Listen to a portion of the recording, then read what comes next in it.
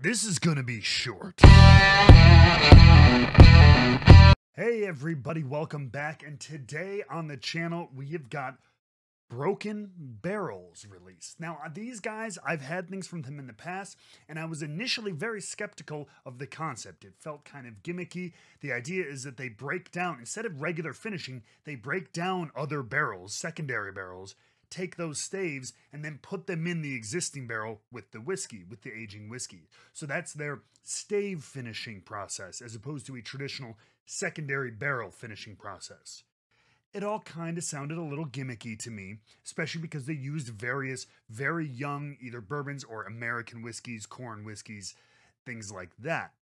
I will say their initial releases did surprise me. I didn't fall in love with them right away, but I thought I was going to straight up not like them, and they were pretty darn good.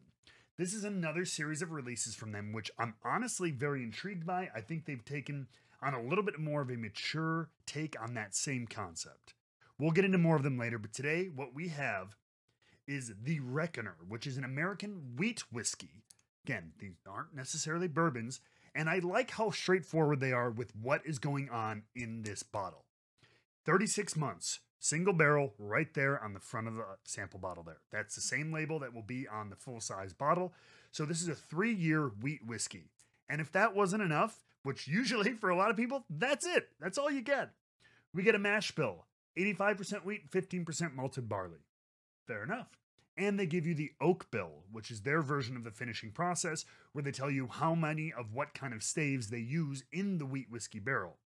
So in this one, they use 80% cognac cask staves and 20% French oak. You're going to see a lot of French oak in these broken barrels.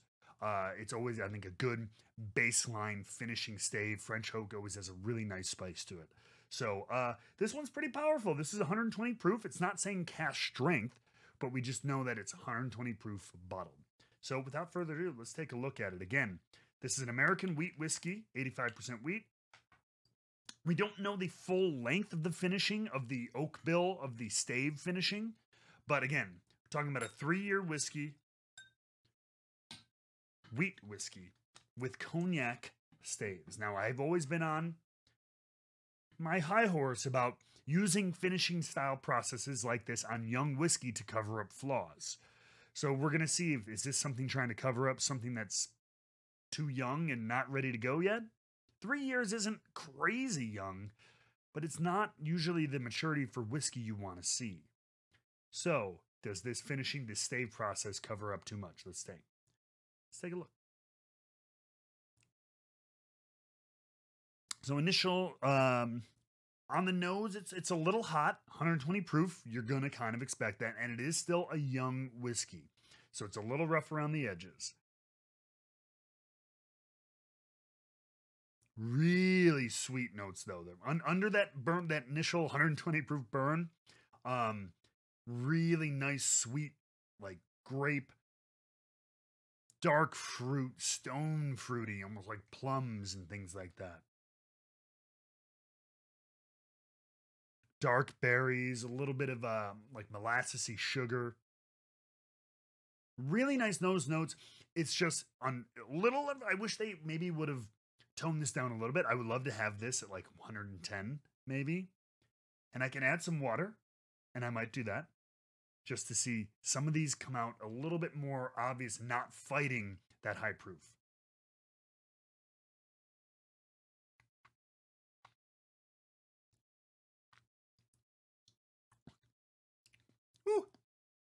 Now this is my first drink of the day. Um, it's hot.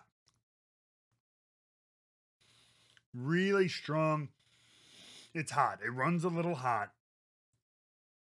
Those f- fruity flavors carry through. I'm going to go ahead because I think this is going to be made for adding some water. So there's a couple little droplets here that I'm going to add. Three, four. And sometimes you don't even need to add too many. Okay. Switch it around a little bit.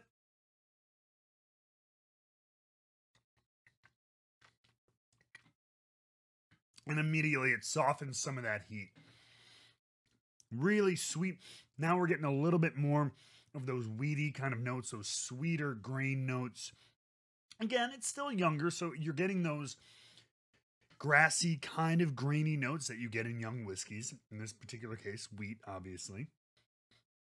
But the sweetness, the almost cakiness of that of that cognac stave finishing and the French oak, baking spices.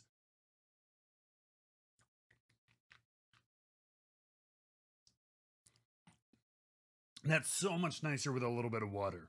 Um,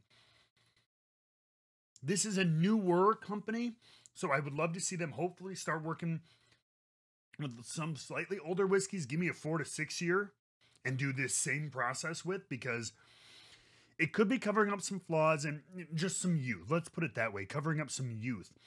But normally, when companies take a young whiskey like this, less than four years old, they throw it in a second barrel for four weeks, just letting it sit. Something about this stave process imparts a little bit more flavor. I will say that. This is not anything like rapid aging, anything like that. Something you've heard done in Cleveland with chunks of wood and everything like that. No, no, no. It just, I think it gives it more of a chance for the whiskey to hit it in a shorter amount of time. So the finishing process is a little bit more efficient. So check these out. Again, I would add a little bit of water to this. I wish this was at 110 to 115. Uh, but this is, again, for something that sounds kind of gimmicky, is more interesting than I thought. So check out Broken Barrel, the Wreckoner wheat whiskey finished with cognac and French oak stave. Oh my God. It's still with me. We'll see you on the next one.